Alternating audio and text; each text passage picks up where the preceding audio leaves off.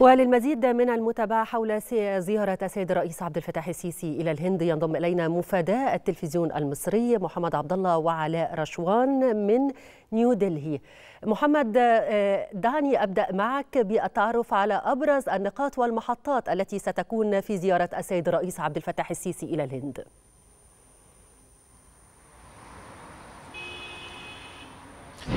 نعم يعني هذه الزيارة بها العديد والعديد من اللقاءات الهامة التي سيعقدها السيد الرئيس عبد الفتاح السيسي والتي تسبق يوم الاحتفال بيوم الجمهورية في الهند. وهذا اليوم الهام في ذاكرة الشعب الهندي. هناك لقاءات على أعلى المستوى سوف يعقدها السيد الرئيس فيما يتعلق على المستوى السياسي مع المسؤولين هنا من الجانب الهندي وهناك حفاوة استقبال غير عادية لمسناها في من الجانب الهندي لاستقبال السيد الرئيس عبد الفتاح السيسي.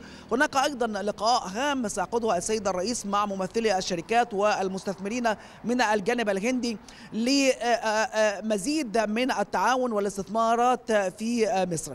أيضا نقطة هامة للغاية ما لمسناه من وسائل الإعلام الهندية هو التركيز على الزيارة التي يقوم بها السيد الرئيس عبد الفتاح السيسي إلى الهند والدعوة التي وجهتها وسائل إعلام وصحف هندية إلى رجال الأعمال الهنود بضرورة أن يقتنصوا هذه الفرصة والتي أطلقوا عليها بالفرصة الذهبية لمزيد من الاستثمارات داخل مصر.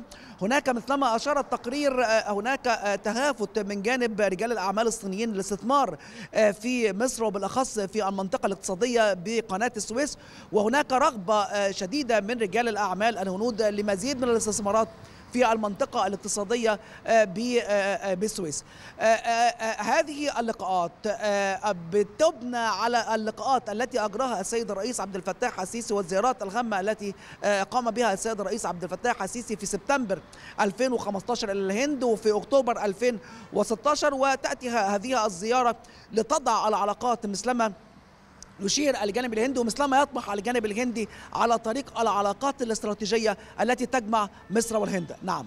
نعم أشكرك محمد عبد الله أرجوك أن تبقى معي للمزيد من المتابعات على مدار هذه الزيارة. لكن دعني أتحول إلى علاء رشوان من مقر إقامة السيد الرئيس عبد الفتاح السيسي في العاصمة الهندية نيو دلهي. علاء زخم كبير بالطبع في جدول السيد الرئيس خلال هذه الزيارة ومراسم الاحتفاء التي تمت ومشاركة السيد الرئيس أيضا في العيد القومي للهند. ضعني في الصورة.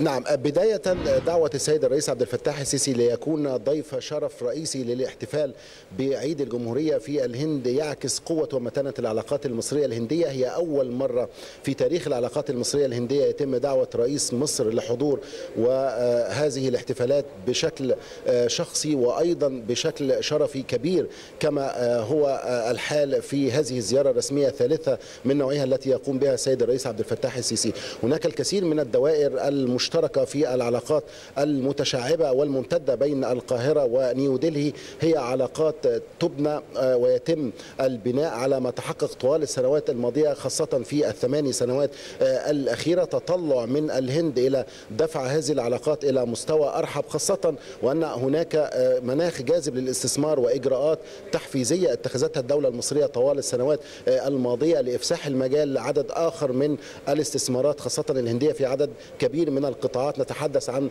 قطاعات الطاقة الجديدة والمتجددة إنتاج الهيدروجين الأخضر التكنولوجيا الاتصالات والمعلومات الذكاء الاصطناعي والأمن السيبراني وأيضا البنية التحتية والسياحة وصناعة الدواء وغيرها من هذه المجالات الواعدة هذه نعم. اللقاءات التي أشار إليها زميلي محمد والتي من المنتظر أن تعقد بداية من بعد دقائق قليلة سوف يستقبل السيد الرئيس عبد الفتاح السيسي بمقر إقامة سيادته لقاء هام سوف يجمعه مع أحد كبار المسؤولين بالحكومة الهندية وتتواصل هذه الفعاليات منذ صباح غد زيارة هامة إلى مقر رئاسة الوزراء بقصر حيدر أباد يستقبله خلال يستقبل خلال هذا اللقاء السيد الرئيس رئيس الوزراء الهندي ناريندرا مودي. تعقد اتفاقيات تعاون ثنائية بين الجانبين ويعقب التوقيع على هذه الاتفاقيات مؤتمر صحفي بين الجانبين. يتوجه من بعدها السيد الرئيس إلى مقر الرئاسة الهندية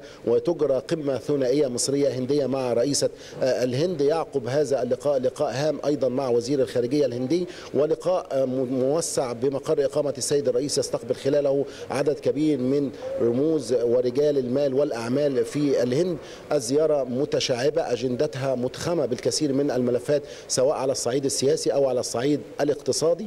تتوج 75 عام هي عمر العلاقات المصرية الهندية والتي انطلقت في خمسينات القرن الماضي وتعكس إرادة سياسية لدى الجانبين لدفع أطر نعم. التعاون بين الجانبين في المرحلة المقبلة خاصة على الصعيد التجاري نتحدث عن الهند التي تمثل خامس أكبر قوة اقتصادية عالميا تسعى وتطمح إلى استغلال واستثمار الموقع الجغرافي الفريد لمصر كبوابة ملكية لنفاذ وعبور الصادرات الهندية إلى أكثر من مليار و300 مليون نسمة في شمال وجنوب إفريقيا وأيضا في حوض منطقة حوض شرق المتوسط كل هذه الدوائر المتشابكة والمتشعبة في العلاقات الممتدة بين البلدين تبشر بمرحلة جديدة من هذه العلاقات خاصة على الصعيد الاقتصادي والتجاري في ضوء التحديات العالمية الاقتصادية الراهنة التي يشهدها العالم هناك إرادة أيضا سياسية لدعم وتعزيز التعاون خاصة في التفاعل مع هذه التحديات نعم. نتحدث عن أزمة الأزمة الروسية الأوكرانية وأزمة انقطاع سلاسل الإمداد من الغذاء